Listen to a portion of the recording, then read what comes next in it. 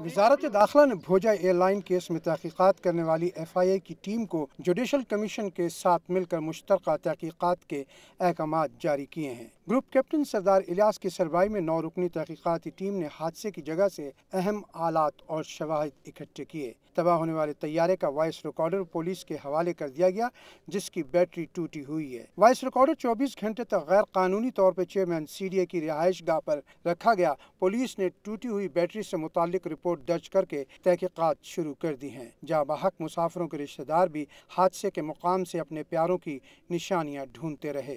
खेत से मिलने वाले तलाई जेवरात और पर्स पुलिस के हवाले कर दिए गए हैं। मेरी भतीजी को मिला है।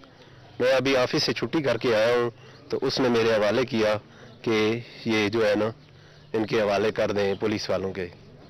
इतवार को निजी एयरलाइन के गैर मामूली हादसे और गफलत का वाक़ सामने आने के बाद निजी एयरलाइनों के तमाम तैयारों की चेकिंग शुरू कर दी गई है। पहले मरहले में भोजा एयरलाइन के जेर इस्तेमाल तैयारों को चेक किया जा रहा है। दूसरी जानब एम क्यू एम ने तैयारा हादसे के वाक़े के खिलाफ कौमी असम्बली में तहरीक अल्तवा जमा करा दी है। तहरीक अल्तवा में सानिया कुराल की तहकीक़ात जल्द मुकम्मल करने, लवाहकिन को बिला तखिर मुआवजा देने और तहकीक़ाती रिपोर्ट्स मंजर आम पे लाने के मुतालबात किए गए हैं।